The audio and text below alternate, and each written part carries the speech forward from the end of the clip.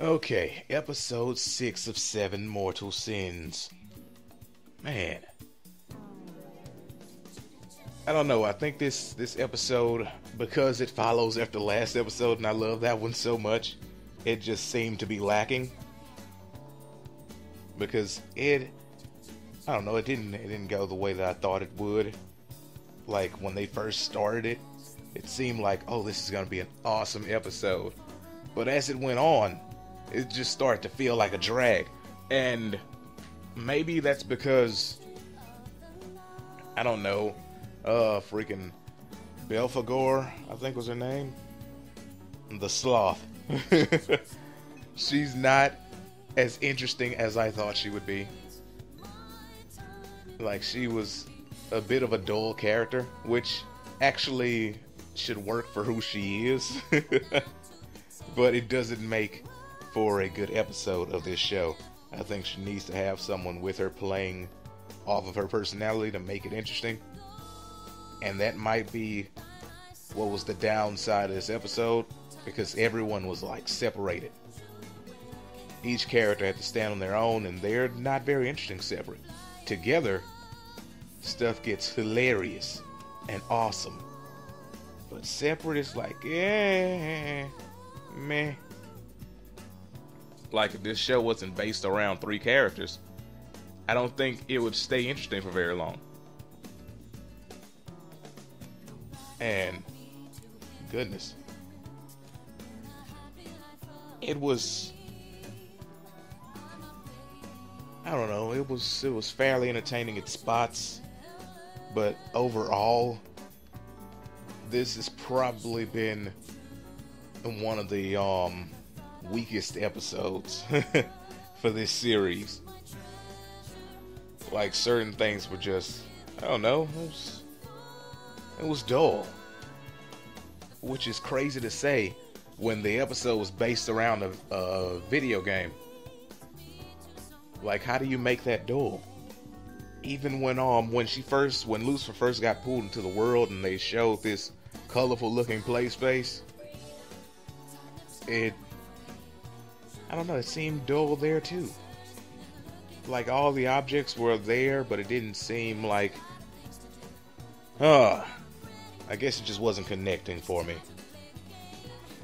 And then when they went into the fantasy world, I was like, okay, well, I guess the episode's gonna pick up here. It didn't. It was still dull. And I guess that's the most upsetting thing about this episode is that no matter what happened, it was still dull at the end of the day. And that is just unfortunate because all these episodes, even the ones before that weren't all that great, still weren't dull. But it's whatever. With this episode, we we had them going up against Belphegor, and my phone is ringing. I am going to just silence that. Anyway, with this episode, we had to go up against Belphegor, and Belphegor dragged in. Well, she dragged in all three of them, but you didn't know Levy was there until later, which I just assumed it'd be another one of those episodes where we wouldn't even see her or see her do anything, which we barely saw her do anything, but still, I figured it'd just be a Levyless episode. Because sometimes they do that, which is odd because she kind of, you know, helps with the overall um entertainment value of the show. But anyway, she dragged in Lucifer and gave her one of two choices either be the demon lord or be the hero. And she chose demon lord, which obvious. So once that happens, you know, being a, a avid anime watcher, video game player, and you know stuff like that, you kind of see where it's going. Like if she drug in Lucifer and made her the demon lord, she was gonna bring in Maria as the hero, and I assume she was gonna bring in Maria and Levy as the hero. But then I thought about it. Obviously, when Levy saw it was um Lucifer, she wouldn't fight anymore. So, yeah, bringing in only Maria was the only logical option. So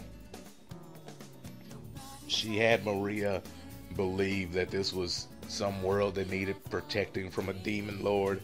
And since Maria's kind of dumb, let's just let's just be honest here. Maria's kind of dumb.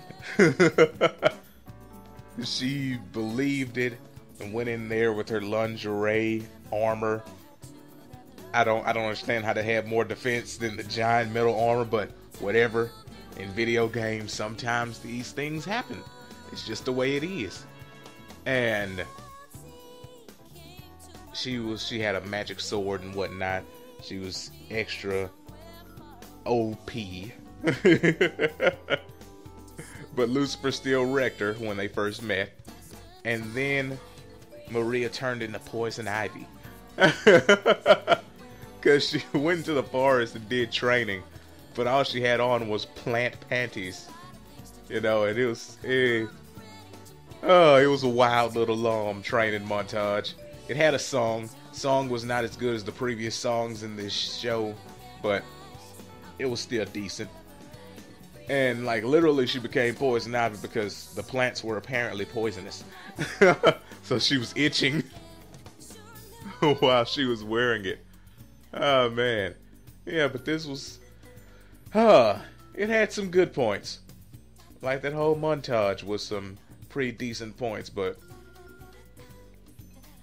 you could see where this one was going real easily. Like they kind of lead you in a certain direction in the other episodes, but with this one, you just knew how it was going down. Especially after Maria got defeated and Belphegor took her off for training. I said, well, she's gonna come back, beat Lucifer, but not uh, what's the word? Finish Lucifer. Don't know why I had a hard time thinking of finish, but I figured either she was not going to finish the fight with Lucifer after she, you know, had proven she was stronger and she was gonna join up with her, or she was just gonna quit. I don't know. I, I, I that's just the logical way of things. It's kind of like um back when Naruto was still a thing and you were getting close to the end and you saw Madara gaining all this power immediately the thought was, well, you know, somewhere close to the end, Naruto and Sasuke are gonna have to join forces, and that's how this story went. It was like, eh, at some point Maria's gonna join Lucifer. It's obvious, and they're gonna defeat Belphegor, but it didn't fully go that way. Like Maria did protect Lucifer, but she didn't technically join her, I guess and Belphegor didn't actually get defeated. She just kind of quit. she was upset and left. oh, but overall, this was this was a fun episode. Uh, it was fun for the most part. Like, oh, I still can't get over the dullness of it, but mm, if you get past it and just pay attention to certain points, it can be a fun episode. Still, it's still the weakest episode of the series, though. And for that, it would get a 2.5. 2.5. Man, I wish it could have been better, but uh, I don't know. It's just, just I feel weird about this episode because it had so much potential. Because you were literally in a fantasy setting. It didn't take place in the real world, so they could do whatever they wanted. They could have had giant talking animals if they wanted to. It could have just got really strange in this episode, but it didn't. And that's why I'm saying it's dull, but still fun. Oh man. Anyway, tell what you guys thought about this episode. Hope you enjoyed this video. Peace out and have a great day.